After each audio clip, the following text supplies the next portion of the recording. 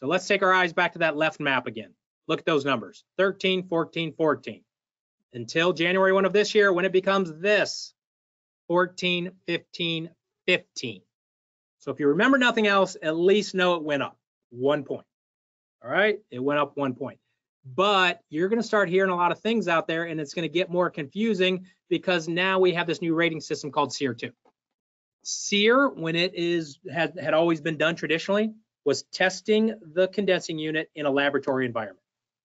All right, so we know that's not realistic.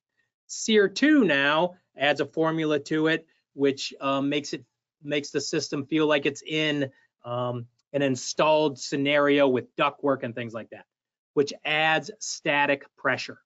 Static pressure makes the system work harder, pulling the air through and across and, and stuff like that. So that's what SEER 2 is measuring. All right. So if the northern states are 14 SEER, this new calculation is 13.4. Just be careful. We're, it's not huge right now. You're not even going to find a lot of da data plates that are going to have this on it yet, but it's but it is going to be coming. But um, you might the the, the um, contractor might be talking to the homeowner about SEER 2 number.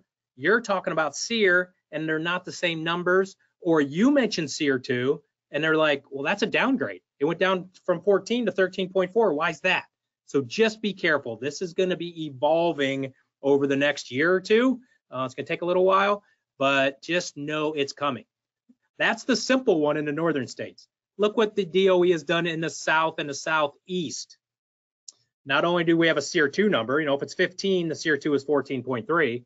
We've now separated by size. If it's less than 3.75 tons, um, there's that calculation. Remember, 45,000 divided by 12, 3.75. Um, if it's less than um, 45,000 BTUs, it's 15 SEER as the regulation. If it's greater than 45,000 BTUs or bigger than 3.75 tons, it's now 14.5. Right? That's confusing. Not all brands even make a 14.5. You might need to get some help with those.